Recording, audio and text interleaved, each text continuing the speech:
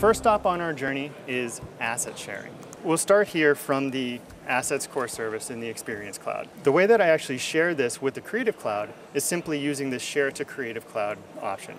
There is an option to actually just select the users in the Creative Cloud that I want to actually share this folder with. So now as the designer, if I wanted to populate something else directly into that, all I would have to do, go to File, Save As, choose that same folder that we just looked at, and when I hit Save, this asset gets saved not only to my local computer, but also uploaded into the cloud where it can be accessed by Adobe Campaign. The next step is the predefined filters. We'll see how it's easier day-to-day -day life.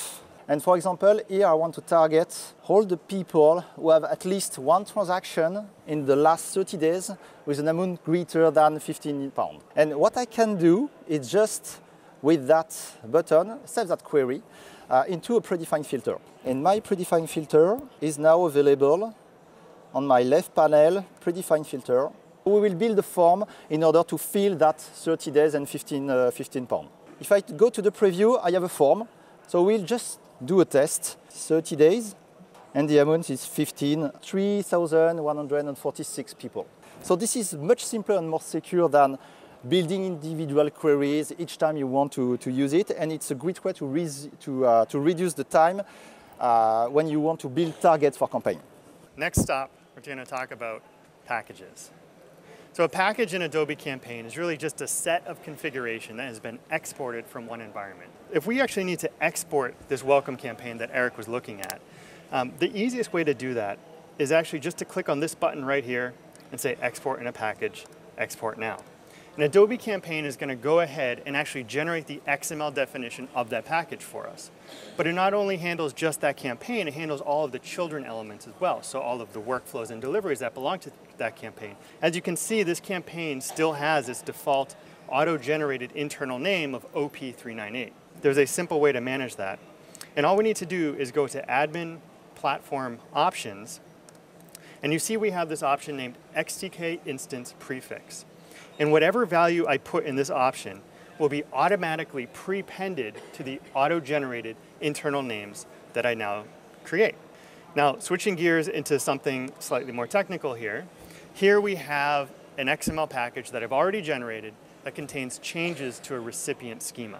I can actually control and uh, what happens and prevent it from actually automatically updating by adding this attribute of no db structure update equals true.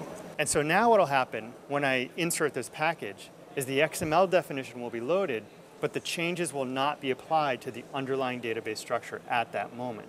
We can also build this workflow which uses those APIs to run on a recurring basis and export packages. So now, next stop on our journey is contextual content.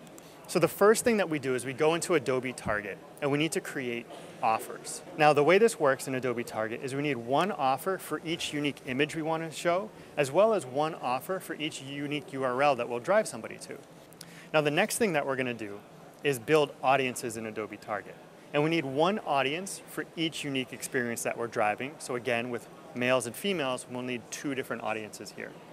Now the last thing we need to do in Adobe Target is create an experience targeting activity. Within each audience, we then have two different locations. And this is the image that we want to replace on the right. And we want to replace that with a stat from a static image to a contextual image that's served at the time somebody opens the email. So typology rules. So everybody use typology rules, so you know exactly how it works. Why we want to use SMS? Because it's a channel which gives you the capability to talk to the people in real time. And here is the message we want to send.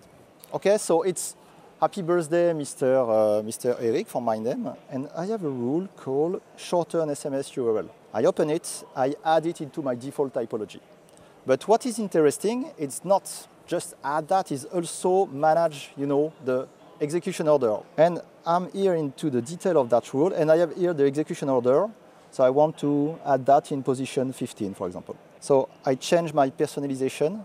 Here is the Bitly account, which does the job to reduce my URL.